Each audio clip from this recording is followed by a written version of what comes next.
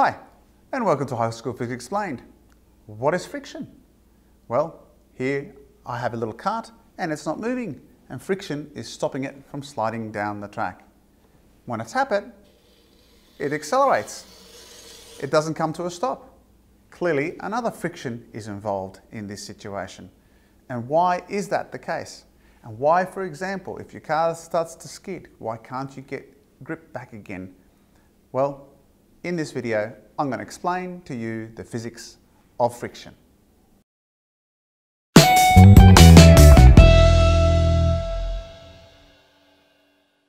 So let's start by defining friction. Well, basically, friction is a force that resists motion. And friction can be categorized in one of four ways. The first way is simply a static type of friction. You apply a force and it resists the motion of the object. You find the object is not moving. Another type of friction is what we refer to as sort of sliding friction, or more correctly, kinetic friction.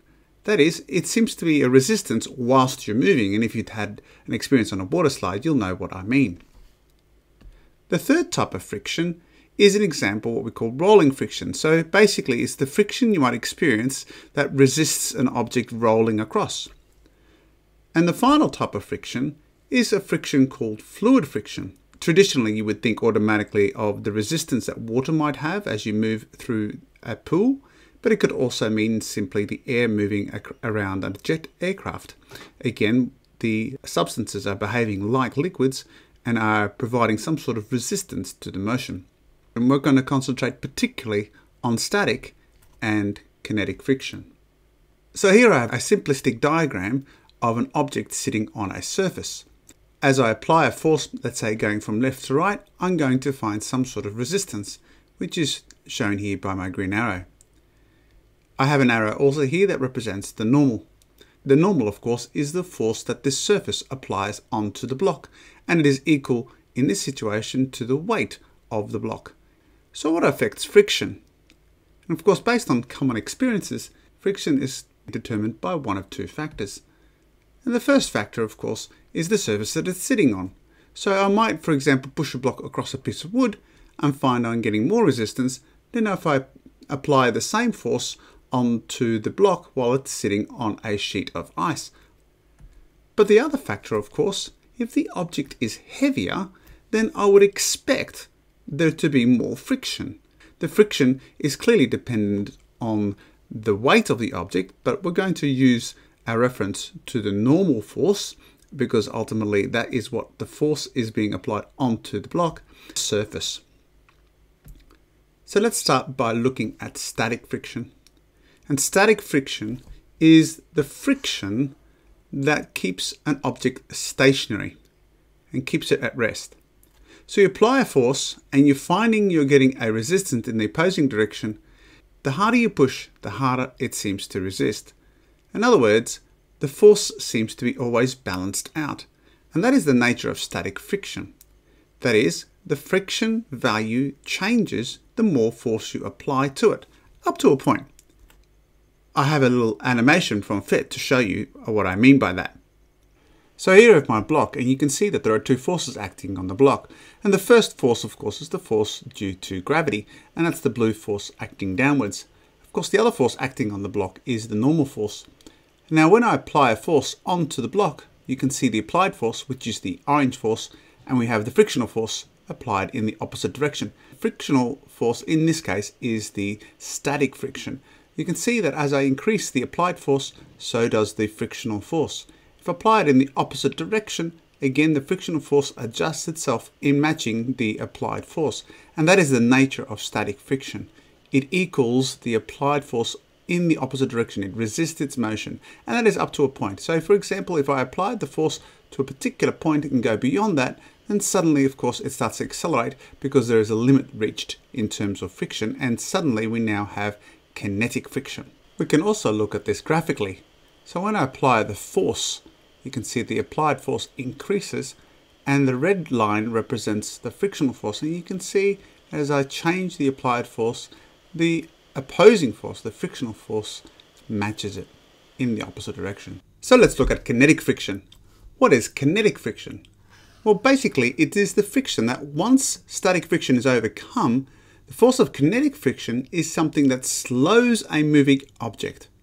And inherently, kinetic friction is either equal to or less than the static friction. And I'll explain that further in the video. Mathematically, what does that mean? Well, similar to static friction, the kinetic friction is equal to, again, the force of the normal, which in this case is acting vertically upwards, multiplied by a coefficient of friction. This time it's the coefficient of kinetic friction. And as I said to you, it is a little lower than the value for static friction. But that is not its only difference. The other difference is, is that the value for kinetic friction is a constant value regardless of the rate of motion that's going on.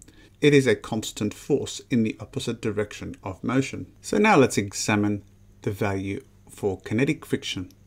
So if I apply a force on my block, you can see my static friction takes place. Now as I increase the force, you'll notice that the static frictional force increases. But place close attention to what happens to the frictional force once the object starts to actually move. What you should have seen is that the value for the frictional force, first of all, decreases. It is less than the static friction. The second thing you should have seen is that the value remained constant regardless of the applied force. Let's examine this in a graphical form. Again, I'm going to apply a particular force and as you can see my forces increase but once I reach a certain point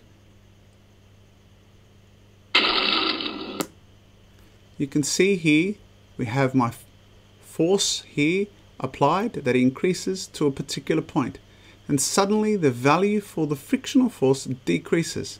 And then it remains constant. And of course it remained constant until it went off and crashed into the edge.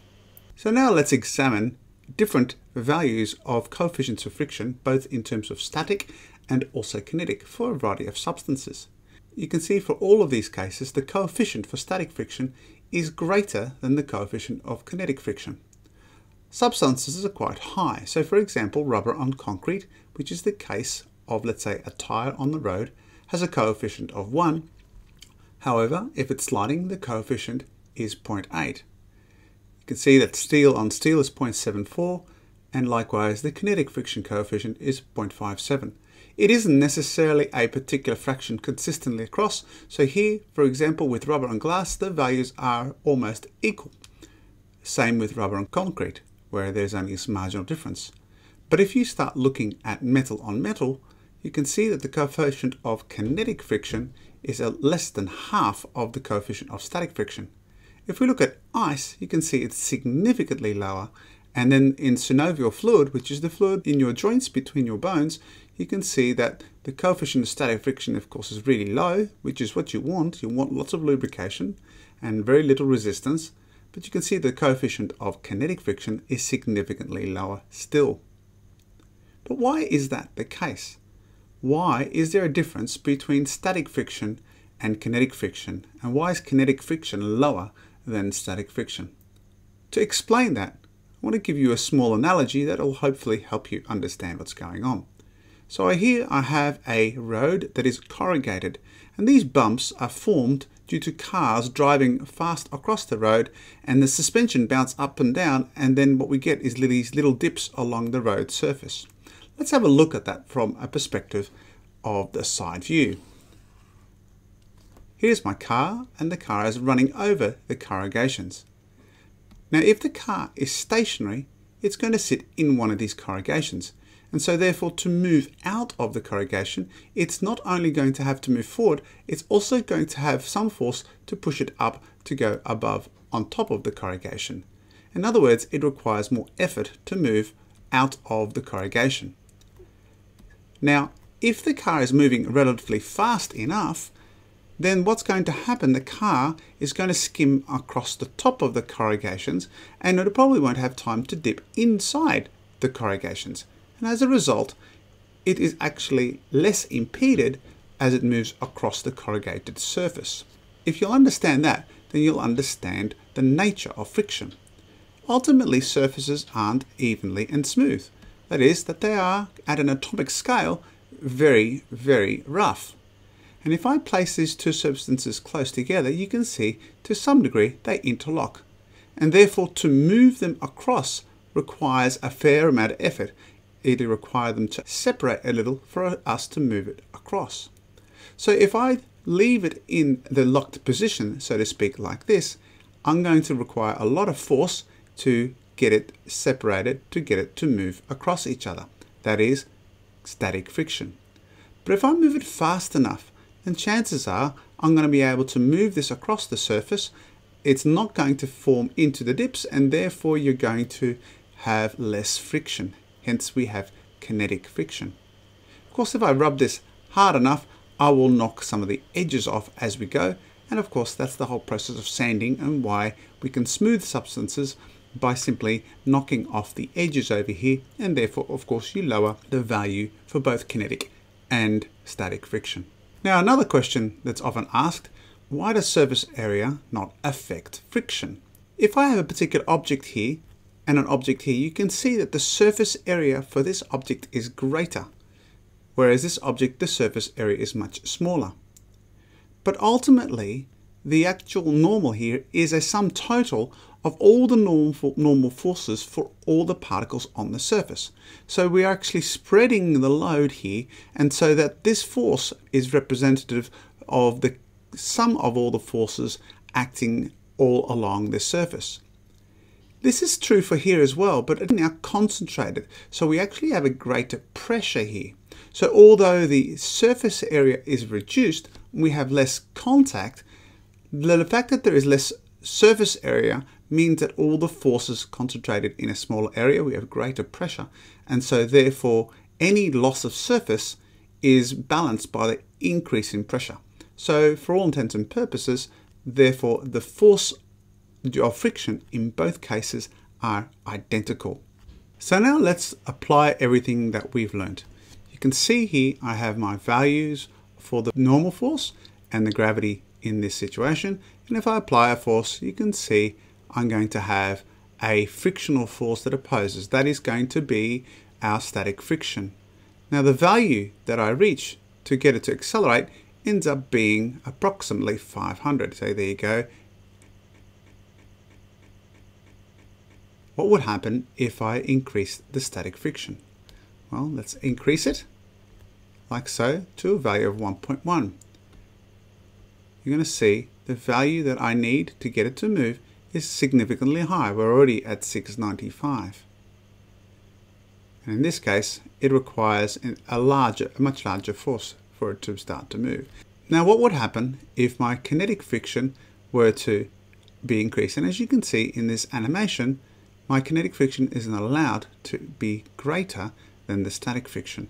So I'm going to here apply a static friction and a kinetic friction of equal values. And again, I'm going to return my object in the opposite direction by applying a force in the opposite direction. You can see I get to a point where my frictional force then remains constant and then I have a applied force slightly greater and so it starts to accelerate.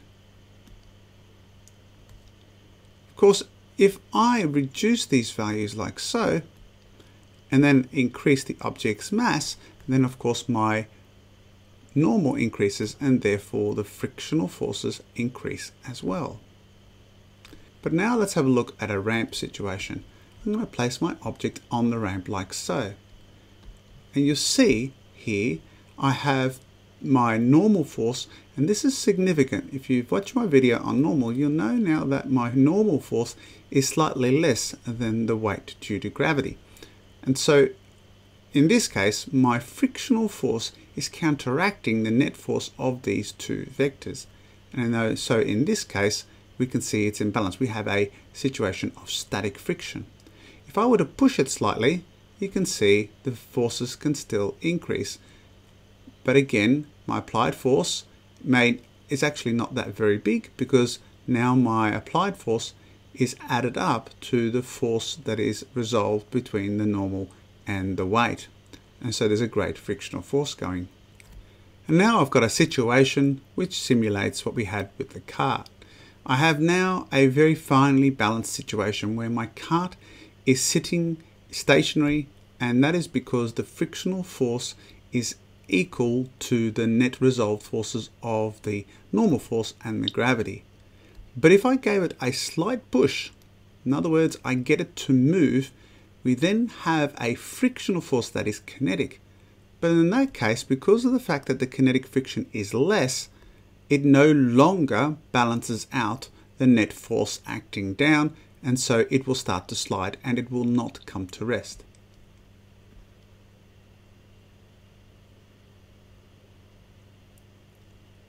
Until we get to the bottom where we have a level surface. That in essence is also why a car is unable to stop once it starts sliding. You have a kinetic friction that is less than the static friction. And so therefore for a car to stop, it has to regain traction again. I hope that has helped you understand kinetic friction, static friction. I'm Paul from High School Physics Explained. Bye for now.